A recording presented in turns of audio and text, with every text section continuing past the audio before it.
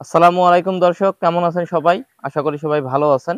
দেশ এবং দেশের বাইরে থেকে আপনারা যারা ভিডিওটি দেখছেন, সবাইকে জানাই আন্তরিক শুভেচ্ছা, অভিনন্দন।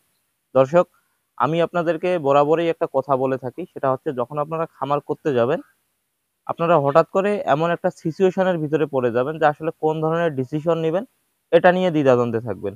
যদি আপনারা সেখান থেকে একটা সঠিক ডিসিশন নিতে পারেন, তার মানে আপনারা বুঝে নেবেন যে আপনারা কখনো বা কোনোদিন খামারে লস করবেন না ইনশাল্লাহ তো যাই হোক দর্শক, এই গরুটা নিয়ে আমি আপনাদেরকে একটা ভিডিও দিয়েছিলাম। মনে হয় দুইটা ভিডিও দিয়েছি।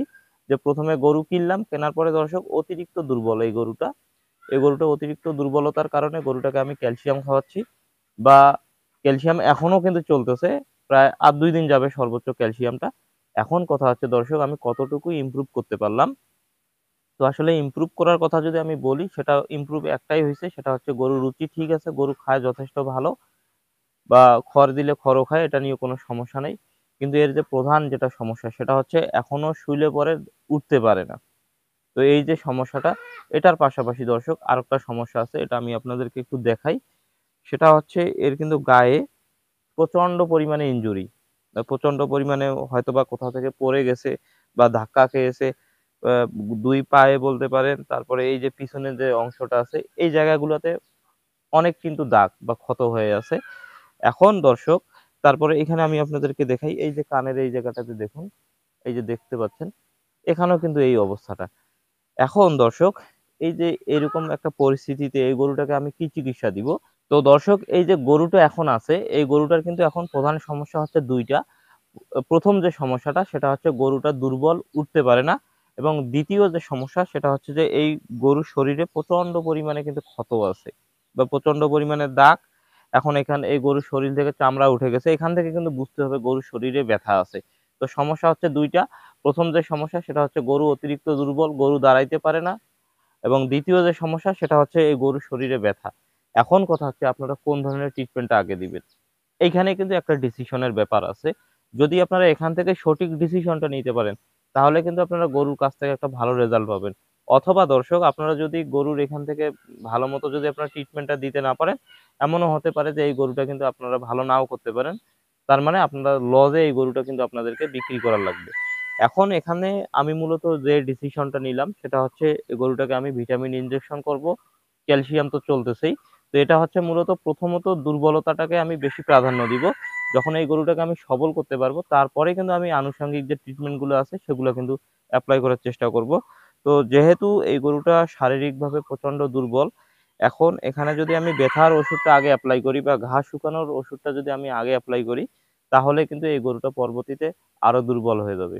তার মানে এই গরুটাকে কিন্তু পরবর্তীতে সুস্থ করাটা অনেকটা কঠিন হয়ে যাবে। তো এই জন্য আমি ডিসিশন যেটা নিয়ে নিলাম সেটা হচ্ছে আমি মূলত প্রথমে ভিটামিন ইনজেকশন দিব। এখন আপনারা আমাকে বলতে পারেন যে কোন ধরনের ভিটামিন ইনজেকশনটা আমি এই গরুটাকে দিচ্ছি। তো মূলত বরাবরই আমি যেগুলো দিয়ে থাকি সেগুলো হচ্ছে এখানে আমার কাছে আছে রেনাসল এডি থ্রি দেখতে পাচ্ছেন। এই রেনাসল এডি থ্রিটা কিন্তু আমি গরুটাকে দিব ছয় থেকে সাত মিলি, যেহেতু বড় লাইভ একটা গরু। এটাকে ছয় থেকে সাত মিলি দিব এবং দ্বিতীয় যে ইঞ্জেকশনটা পুশ করব, সেটা হচ্ছে ক্যাটাফস দেখুন আপনারা, এটা হচ্ছে রেনাটার এই যে ক্যাটাফস এবং রেনাসল এডি থ্রি আমি এই ইঞ্জেকশনটা অ্যাপ্লাই করব।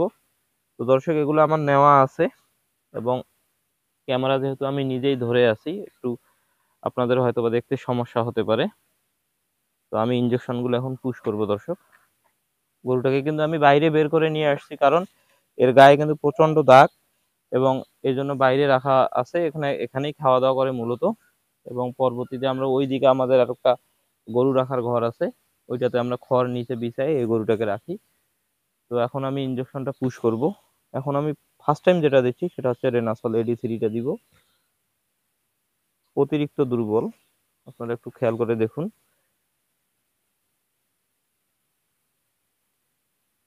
আস্তে আস্তে দিতে হবে এবং ওষুধটা অনেক গাঢ় গাঢ়। দেই দর্শক। আমি বরাবরই আপনাদেরকে একটা কথা বলে আসি, সেটা হচ্ছে অবশ্যই আপনাদেরকে সঠিক ডিসিশনটা নিতে হবে যে আসলে আপনারা কোনটা কোন সময় অ্যাপ্লাই করবেন। যদি আপনারা এখানে সঠিক ডিসিশনটা নিতে না পারেন তাহলে কিন্তু আপনারা খামারে লাভ করতে পারবেন না কখনো। আপনাদের ওই গরুর চিকিৎসা বলেন বা গরু খাওয়াতেই কিন্তু আপনাদের লাভ সব শেষ হয়ে যাবে। এমনও হতে পারে গরু আপনাদের মারাও যেতে পারে। সুতরাং এই যে দুর্বল গরুতে কিন্তু মূলত এটাই একটা রিস্ক যে আপনারা একটা গরু ভালো দেখে নিয়ে আসলেন, খামারে নিয়ে এসে একটা সমস্যা হয়ে গেল।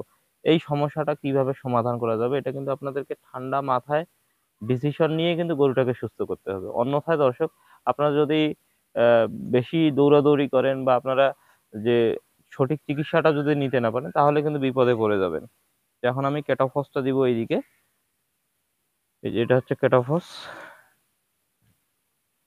দেখুন। খুবই সাবধানে দিতে হবে যাতে এটা হারে না লাগে।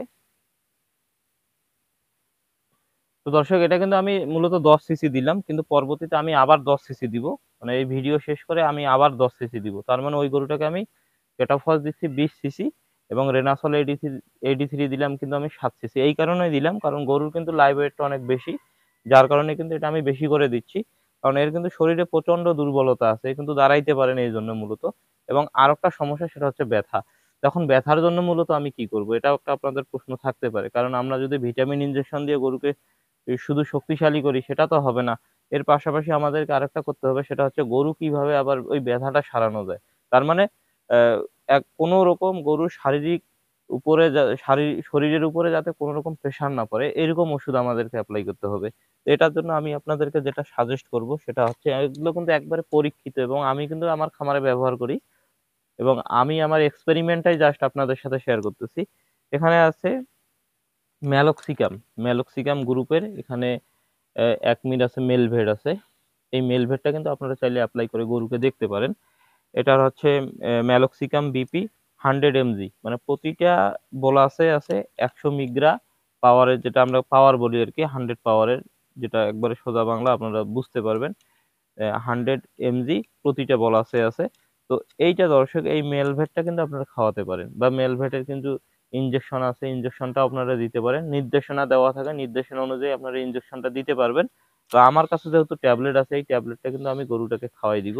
তো এই ভিডিও শেষেই কিন্তু দর্শক আমি খাওয়াই দিব। কারণ ক্যামেরাটা কিন্তু আমি এই সেলফি স্টিকের মাধ্যমে কিন্তু আমি আপনাদেরকে ভিডিওটা দিচ্ছি। তো এখানে মেলভেট যেহেতু এই গরুটার লাইভ ওয়েট কিন্তু প্রায় দুইশো কেজির কাছাকাছি কিন্তু হয়ে যাবে। তো এই জন্য মূলত যেটা করব, সেটা হচ্ছে আমি মেলভেট খাওয়াই দিব এই গরুটাকে দুইটা। প্রতিদিন দুইটা করে খাওয়াই দিব। আজকে দুইটা খাওয়াই দিলাম, আগামীকালকে আরও দুইটা খাওয়াই দিব।